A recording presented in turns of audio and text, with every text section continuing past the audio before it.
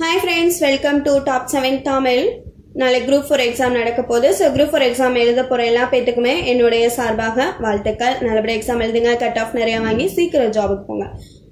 இந்த வீடியோவில் வந்து நம்ம நிறைய பேர் கமெண்டில் கேட்டிருந்தீங்க. தெரியாத கொஸ்டின்ஸ் வந்து எப்படி அட்டன் பண்ணுறது அப்படின்னு சொல்லிட்டு. சாதா ஒவ்வொரு கொஸ்டின் ஒவ்வொரு மெத்தடில் வந்து நான் எடுத்து கொடுத்துருக்கேன். இதெல்லாம் பார்த்தீங்கன்னா போன வருஷம் குரூப் ஃபோர் எக்ஸாமில் கேட்ட கொஸ்டின்ஸ் ஸோ எனக்கு டைம் இல்லை. நிறைய கொஸ்டின்ஸ் வந்து இருக்குது ஸோ டைம் இல்லைனாலும் கொஞ்சம் கொஸ்டின் இப்போதைக்கு ஞாபகம் வச்சுக்கிறதுக்கு மாதிரி சொல்லியிருக்கேன். இன்னொன்று பார்த்தீங்கன்னா ஒரு கொஸ்டின் இருக்குது உங்களுக்கு டைம் இல்லை. நாலு ஆன்சரும் உங்களுக்கு தெரியலை. ஸோ அந்த மாதிரி இருக்க டயத்தில் எந்த ஆப்ஷன் வந்து நீங்கள் செலக்ட் பண்ணலாம் அப்படின்றத இந்த வீடியோ எண்டில் சொல்லியிருக்கேன். ஓகேவா சா கடைசி வரையும் வீடியோவை ஸ்கிப் பண்ணாமல் ஃபுல்லாக பாருங்கள் ஃபஸ்ட்டு கொஷின்ஸ் பாருங்கள் நாலு ஆப்ஷன்ஸ் மட்டும் பாருங்கள் உங்களுக்கு இது தெரிலனா ஆப்ஷன்லேருந்தே ஆன்சர் போடலாம். ஃபர்ஸ்ட் எந்த ஆப்ஷன் பெருசா இருக்கு? அப்படின்னு சொல்லி பாருங்க. ஏ பாத்தீங்கன்னா ஒன் லைன்ல இருக்கு. பி ரெண்டு லைன்ல இருக்கு. சி ஒரே லைன்ல இருக்கு. டியும் ஒரே லைன்ல இருக்கு. இதுக்கு ஆன்சர் என்ன? பி பி ரெண்டு லைன்ல இருக்கு. ஸோ எப்பயுமே ஒரு சில சமயம் ஆன்சர் பெருசா இருக்கும்ல ஆப்ஷனு அதுதான் வந்து ஆன்சரா இருக்கும். ஸோ இது ஒரு மெத்தடு மிஸ் பண்ணிடாதீங்க. தெரியாத பட்சத்துல ஆன்சர் போட்டுடலாம் ஸோ அடுத்து பார்த்தீங்கன்னா இது ஒரு மாடல். ஸோ ஆண்டுகளாக வந்து கொடுத்துருக்காங்கல்ல இது ஒரு மாடல். மேக்ஸிமம் ஆண்டெல்லாம் வந்து ஞாபகம் வச்சுக்கிற முடியாது எப்படி மறந்துடும் ஸோ அந்த டயத்தில் இந்த மெத்தட் வந்து ஃபாலோ பண்ணிக்கலாம். நாலு ஆப்ஷன்லையுமே பாருங்க. ஆயிரத்தி அறநூறு ஆயிரத்தி அறநூறு ஆயிரத்தி அறநூறு தான் வந்து கொடுத்துருக்காங்க. ஓகேவா இதில் ஏதாவது ஆப்ஷன் ரெண்டு மூணு ஆப்ஷன் பார்த்தீங்கன்னா பத்துக்குள்ளே தான் அந்த வித்தியாசமான நம்பர் கொடுத்துருப்பாங்க. இப்போ பாருங்கள் முப்பதுலேருந்து நாற்பதுக்குள்ளே ரெண்டு ஆப்ஷன் கொடுத்துருக்காங்களா? எதுனா ஏவும் சியும் ஆயிரத்தி அறுநூத்தி முப்பத்தி எட்டு ஆயிரத்தி அறுநூத்தி முப்பத்தி ரெண்டு. சரி ஓகேவா ஸோ இது ரெண்டு தான் நமக்கு தேவை. பியும் டியும் வராது.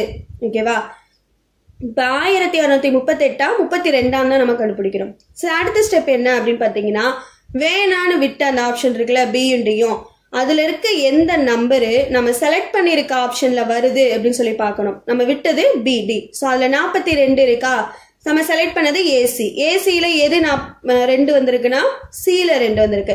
அப்போ இதுக்கு ஆன்சர் ஆயிரத்தி அறநூற்றி முப்பத்தி ரெண்டு.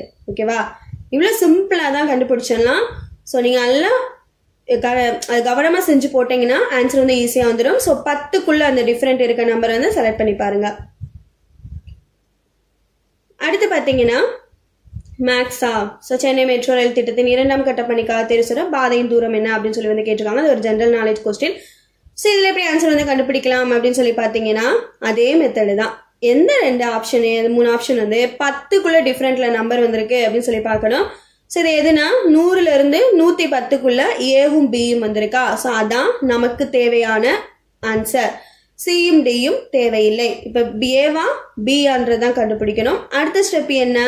நம்ம அந்த விட்ட ஆப்ஷன்ல எந்த நம்பரு நம்ம செலக்ட் பண்ணியிருக்க ஆப்ஷன்ல வருது அப்படின்னு சொல்லி பார்க்கணும். ஸோ இதில் டீல பாருங்க நூற்றி நாற்பது புள்ளி அஞ்சு இருக்கா? நம்ம செலக்ட் பண்ணியிருக்க ஏழு நூற்றி ஏழு புள்ளி அஞ்சு இருக்கா? அப்போ ஆன்சர் என்ன?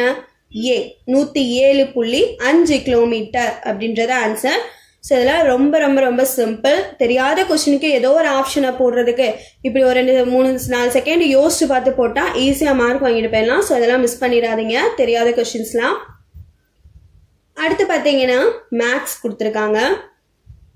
அதே தான் இங்கே நாலு ஆப்ஷன் இது ஒரு மெத்தடு ஸோ இதில் பாருங்கள் ரெண்டு நம்பர் வந்து ஒரே நம்பர் வருதா? ஏவும் பியும் பன்னெண்டாயிரம் பன்னெண்டாயிரத்தி ஐநூறு. ஸோ அடுத்து சிடி வேற வேற நம்பர் ஸோ இது நமக்கு தேவை கிடையாது. ஆப்ஷன் ஏ பி இது ரெண்டில் ஏதாவது ஒன்று தான் கரெக்டாக இருக்கும். ஓகேவா நான் அப்போ ஏபி எடுத்துக்கோங்க. சிடியில் எந்த நம்பர் வந்து ஏபியில் வருது அப்படின்னு பார்க்கணும். அப்போ ஐநூறு அப்படின்றது பியில் வந்திருக்கு. ஸோ இதில் கரெக்டான ஆன்சர் பன்னெண்டாயிரத்தி ஐநூறு. ஸோ இதுக்கெல்லாம் ஃபார்முலா தெரிஞ்சவங்க ஃபார்முலா அப்ளை பண்ணி ஆன்சர் கொண்டு வரதுக்கு எப்படியும் டைம் ஆகும். ஸோ உங்களால் அப்படி போட முடிஞ்சால் டைம் இருந்தால் போடுங்க. இல்லாட்டி சிம்பிளாக இப்படி வந்து ஆன்சர் வந்து சீக்கிரம் வந்து நம்ம போட்டு போயிடலாம். ஸோ ரொம்ப ரொம்ப சிம்பிள் மிஸ் பண்ணிடாதீங்க. அடுத்து பார்த்தீங்கன்னா இது ஒரு மெத்தடு மேக்ஸ்லே தான். ஸோ இதில் பாருங்கள் பன்னெண்டு இருபத்தி ரெண்டு பதினாலு பதினாறு அப்படின்னு சொல்லி நம்பர் கொடுத்துருக்காங்களா? ஸோ அவ்வளோதான் இதில் வந்து பத்துலேருந்து இருபதுக்குள்ளே எப்பயும் அந்த பத்து டிஃப்ரென்ஸ் தான் நம்ம பார்ப்போம் வித்தியாசத்துக்குள்ளே. மூணு ஆப்ஷன் வந்து வந்திருக்கு. பன்னெண்டு பதினாலு பதினாறு வந்திருக்கு. இருபத்தி ரெண்டு என்ன? பத்துக்குள்ள பத்துலேருந்து இருபதுக்குள்ளே இல்லை. ஸோ இருபத்தி ரெண்டுன்றது வராது. கேன்சல் பண்ணிட வேண்டியதான் இந்த மூணுல ஏதாவது ஒண்ணுதான் ஆன்சரா இருக்கும். ஸோ எதா இருக்கும்? இருபத்தி ரெண்டு ரெண்டு ரெண்டுல எந்த நம்பர் வந்து வந்திருக்கு? நம்ம செலக்ட் பண்ணியிருக்கிறதுல பன்னெண்டு வந்திருக்கு. அப்போ ஆன்சர் என்ன? பன்னெண்டு. அவ்வளோதான் ரொம்ப ரொம்ப சிம்பிள் ஃபார்முலா போட்டு ஆன்சர் கொண்டு வந்து கால்குலேஷன் பண்ணி பெருக்கி வகுத்து போடுறதுக்கு டைரக்ட் ஆன்சர் போட்டு போயிடலாம். சிம்பிள் பன்னெண்டு. ஸோ அடுத்து பார்த்தீங்கன்னா மேக்ஸ் கொஸ்டின் ஸோ மேக்ஸ் உங்களுக்கு டிஃபிகல்ட்டாக இருக்குது ஸோ நிறைய பேத்துக்கு மேக்ஸில் தான் மார்க் வந்து போகுது அப்படின்னு வந்து சொல்லியிருந்தாங்க. ஸோ அதனால தான் நான் மேக்ஸ் கொஸ்டின்ஸாக வந்து எடுத்து கொடுத்துருக்கேன். ஸோ சில முக்கியமான கொஸ்டின்ஸ் அப்படின்றது தான். ஸோ இதில் பார்த்தீங்கன்னா இது பர்சன்டேஜ் வச்சு கொடுத்துருக்காங்க. பின்னம் கலப்பு பின்னத்தில் வந்து வந்திருக்கு. ஸோ இதில் இப்படி என்ன பண்ணுவீங்க தெரியாதவங்க? மூணு பர்சன்டேஜ் ஒத்த இது மட்டும் வித்தியாசமாக இருக்குது அப்போ மூணாக தான் இருக்கும் அப்படின்னு தப்பு பண்ணி ஏவ போட்டு போயிருவீங்க. ஸோ அது ரொம்ப ரொம்ப தப்பு. சிம்பிளாக வந்து போட்டுலாம் எப்படின்னா மூணு மூணு மூணு. மூணு பர்சன்டேஜில் மூணு ஆப்ஷன் ஆப்ஷன் வந்து வந்திருக்கு. நாலு பர்சன்டேஜில் ஒரே ஒரு ஆப்ஷன் சி தான் வந்திருக்கு. ஸோ அது சி வராது. ஸோ சி வேண்டாம். இந்த மூணுல ஏதாவது ஒன்று தான் வரும். எது வரும்? எப்பயும் போலதான். வீட்டு ஆப்ஷன்ல எந்த நம்பர் வந்திருக்கு? அறுபத்தி ஒன்பது. நம்ம செலெக்ஷன் பண்றது எந்த நம்பர்ல அறுபத்தி ஒன்பது வந்திருக்கு? டி அப்ப மூணு நாற்பத்தி மூணு பை அறுபத்தி ஒன்பது பர்சன்டேஜ் அப்படின்றது தான் இந்த கணக்குக்குரிய சரியான விடை. ஃபார்முலா தெரிஞ்சவங்க ஃபார்முலா போட்டு செக் பண்ணி பாருங்க. இந்த ஆன்சர் தான் வந்து வரும். ஸோ ரொம்ப ரொம்ப ரொம்ப சிம்பிள் எப்பயுமே நாலு ஆப்ஷன்ல ஒரு ஆப்ஷன் வித்தியாசம் இருந்தா அதை டக்குன்னு செலக்ட் பண்ணிடக்கூடாது. ஸோ இதெல்லாம் யோசிச்சு பாருங்க. இந்த ஸ்டெப் வரலைனா அப்புறம் வேணா அந்த மாதிரி வந்து ஃபாலோ பண்ணுங்க. ஸோ கரெக்டான ஆன்சர் டி அடுத்து பார்த்தீங்கன்னா ஆண்டு. மொழி அடிப்படையில் இந்தியா எப்பொழுது பல மாநிலங்களாக பிரிக்கப்பட்டது? ஸோ இது வந்து எல்லா பேத்துக்குமே தெரிஞ்சிருக்க கொஸ்டின் தான். ஸோ இது வந்து தெரியாதவங்க வந்து எப்படி போடலாம் அப்படின்னு சொல்றது வந்து நம்ம பார்க்கலாம்.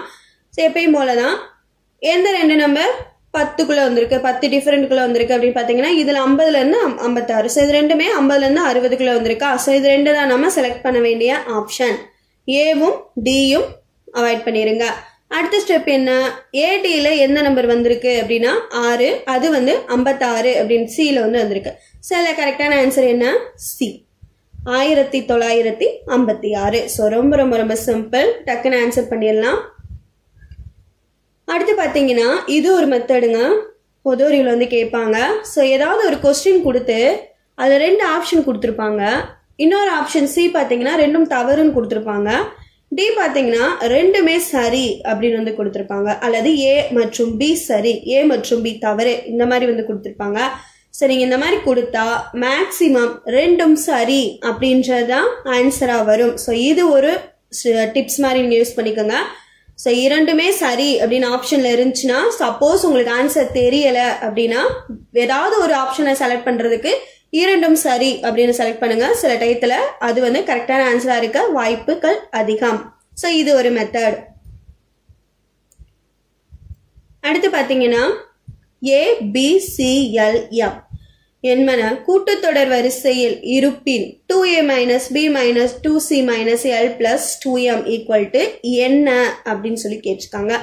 ஸோ நிறையா பேர் மேக்ஸில் இந்த அல்ஜிப்ரா ப்ராப்ளம்ஸை பார்த்து தான் வந்து நிறைய பேர் பயப்படுறாங்க A B X Y Z அப்படின்னு வரும்போது ஸோ இதுக்கு என்னதான் ஆன்சராக இருக்கும் அப்படின்னு சொல்லி வந்து நிறைய கன்ஃபியூஸ் ஆவாங்க. ஸோ அந்த கணக்கு வந்தாலே பயந்துட்டு அதுக்கு ஒரு செகண்ட் கூட பார்க்க மாட்டாங்க. நாளில் ஏதாவது ஒரு ஆப்ஷன் வந்து செலக்ட் பண்ணிட்டு வந்து போயிடுவாங்க. ஸோ அந்த தப்பெல்லாம் செய்யாதீங்க. இந்த சம்முக்கும் சில டிப்ஸ் இருக்கு. கரெக்டான ஆன்சர் எழுதுறதுக்கு. என்ன அப்படின்னு பார்த்தீங்கன்னா ஸோ ஏபிசி அப்படின்னு எழுத்துக்களாக வந்து கூட்டல் வகுத்தல் பெருக்கல் அந்த மாதிரி வரிசையாக கொடுத்துருந்தாங்கன்னா ஆப்ஷனாக பாருங்க. ஜீரோ வந்திருக்கா? ஜீரோ கரெக்டு ஓகேவா ஸோ ஒரு நாலு ஆப்ஷனில் ஜீரோ வந்திருக்கா? ஜீரோ கரெக்ட் ஏ வந்திருக்கா? பி வந்திருக்கா? சி வந்திருக்கா? அதெல்லாம் பார்க்காதீங்க. ஜீரோ வந்திருக்கா? ஜீரோ செலக்ட் பண்ணுங்க. சப்போஸ் அந்த ஆப்ஷனில் ஜீரோ இல்லையா? ஒன்று வந்திருக்கா? ஒன்றை செலக்ட் பண்ணுங்க. ஓகேவா ஸோ ஒன்று இல்லாட்டி ஜீரோ செலக்ட் பண்ணுங்க. ஃபர்ஸ்ட் ஜீரோ இருக்கான்னு பாருங்க. அப்புறம் ஒன்று இருக்கான்னு பாருங்க. ஸோ ரெண்டில் ஏதாவது ஒன்று ஆன்சர் கரெக்டாக வரும். ஸோ இந்த சம் ஈஸியாக போட்டுடலாம் அடுத்து பார்த்தீங்கன்னா காரத்துவம் என்ற பதத்தின் பொருள் என்ன அப்படின்னு சொல்லி வந்து கேட்டிருக்காங்க. ஸோ நான் ஆப்ஷன் எப்பயும் போல கொடுத்துருக்காங்க. எப்பயும் போல தான் எது பெருசாக இருக்கோ எந்த ஆப்ஷன் பெருசாக இருக்கோ அதுதான் அந்த ஆன்சராக வரும்.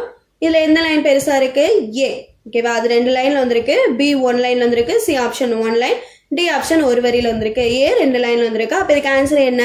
ஏ ஏ தான் வந்து கரெக்டா இருக்கும்.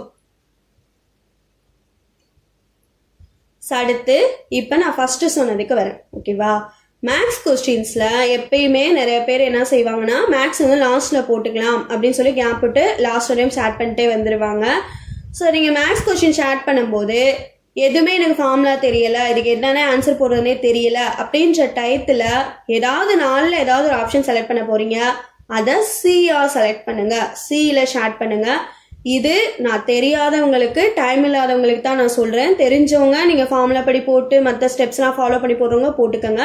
ஃபார்முலா தெரில எனக்கு ஆன்சர் எப்படி கொண்டு வருதுன்னு தெரியல அப்படின்ற டயத்தில் மேக்சிமம் சி தான் வந்து ஆன்சராக வரும். வந்திருக்கலாம்.